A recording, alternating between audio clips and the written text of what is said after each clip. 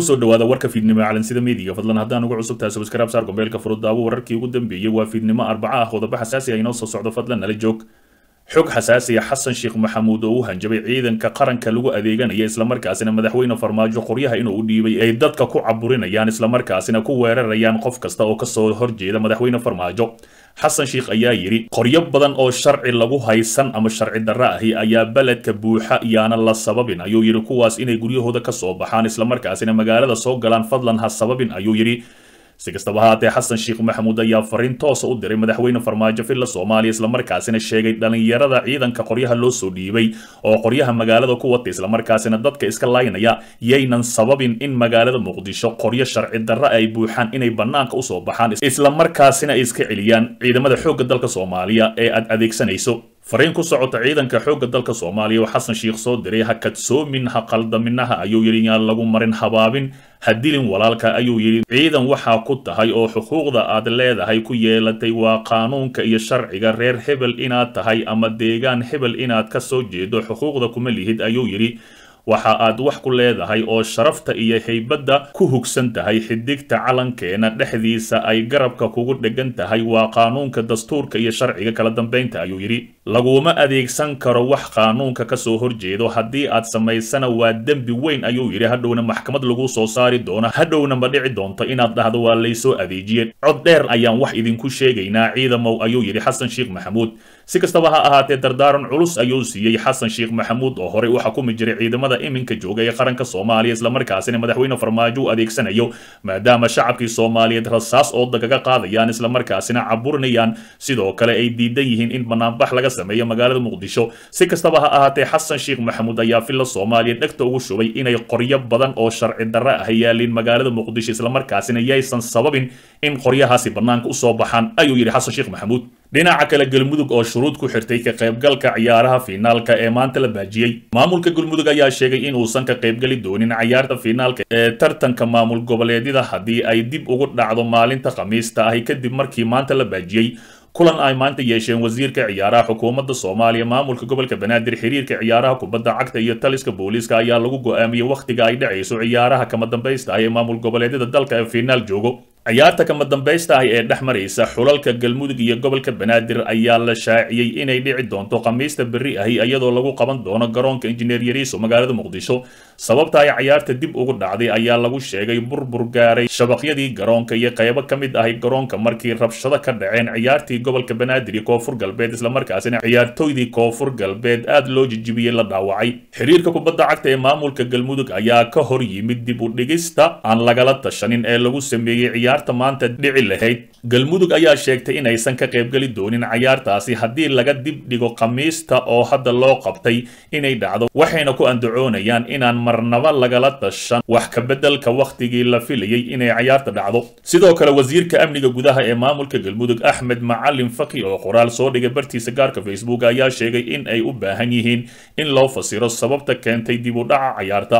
wasiir faki ayaa sheegay in koobka caawa laga sugayey in la geeyo magaalada dhuusamareeb ee caasimada maamulka galmudug wuxuuna sidoo kale sheegay inaysan aqbali doonin dib u dhac kale. Maanta cayaartii kama dambaysta aheyd ee xulalka galmudug iyo banaadir dhex mari laheyd yaa noo fasiri kara sababta dib loogu dhigay yaase lahaa awoodda dib u dhigista xiriirka kubadda cagta waa in ay jawaab u helaan arrinkaani koobka caawa waxaa laga sugayey caasimada galmudug dib u dhac intaas ka badan lama aqbali karo iyo wararka kale ee la sheegayo axmed macalin faki wasiirka amniga gudaha ayaa sidaas yidhi. Si kastaba ha ahaatee berri ayaa loo asteeyey inay ciyaartaasi dhacdo. Dhinaca kale guddiga lagu muransan yahay ee doorashooyinka oo kormeeray goobo loo asteeyey doorashada xildhibaanada. Guddiga lagu muransan yahay doorashooyinka guddiga maamulaya doorashooyinka banaadir iyo xubno ka tirsan guddiga amniga. Doorashooyinka ayaa maanta kormeeray dugsiga tababarka generaal kaahiya oo ah xarunta labaad ee loo asteeyey in lagu qabto doorashooyinka golaha shacabka iyo golaha aqalka sare ee somalilan iyo banaadiri xubnaha guddigani ayaa indha-indheeyey howlka weyn ee dugsiga tababarka ee genaraal kaahiye iyaga oo qiimeyn ku sameeyey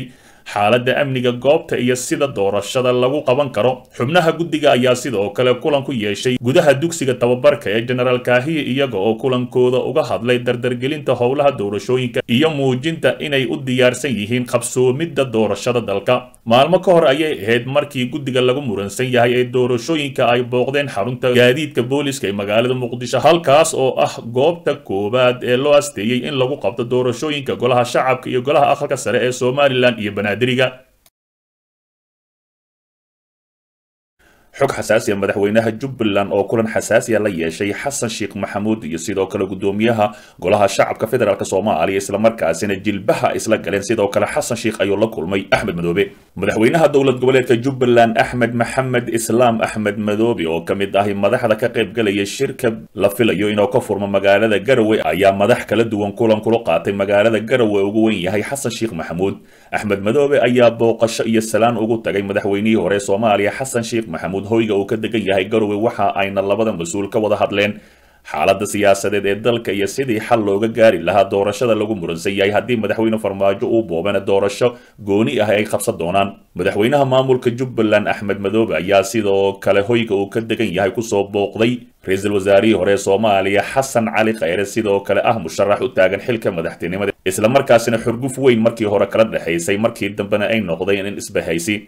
labada mas'uul ayaa ka wada hadlay xaaladda dalka uu marayo xilliga kala guurka ahi iyo sidii looga wada shaqayn lahaa doorashooyinka loo dhan yahay oo la isku raacsan yahay inay dalka ka dhacdo. Magaalada garowe waxaa kulamo kala duwan ku qaadanaya qaar ka mid ahi madaxda ka qaybgalaya shirka la filayo inuu ka furmo magaalada garowe oo shalay baaqday. Waxaana sidoo kale ka soo qaybgala shirkaasi madax ka socda dowladda federaalk soomaaliya maamul goboleedyada qaarkood iyo sidoo kale mucaaradka ugu waaweyn dalka soomaaliya. Ugu horreeya xasan sheekh maxamuud sidoo kale sheekh shariif sheekh axmed ayaa halkaasi tagay. Si kastaba ha ahaatee shalay ayuu baaqday waxaana laga yaabaa inuu maanta shirkaasi mar kale baaqdo. Farsamo jirta awgeed dhinaca kale ra'iisul wasaare rooble oo afhayeen u magacaabay weriye caan ahi maxamed ibraahim macalim oo uu shalay ra'iisul wasaaraha soomaaliya u magacaabay afhayeenka xukuumadda federaalk ayaa ka hadlay xilka cusub ee loo magacaabay kadib warar qoraal ahi oo ka soo baxay maanta maclimu. Maclimu oo ka mid ahi bahda warbaahinta dalka sidoo kalena ahaa xoghayaha guud ee ururka iskutaga saxaafiyiinta soomaaliyeed ee fesog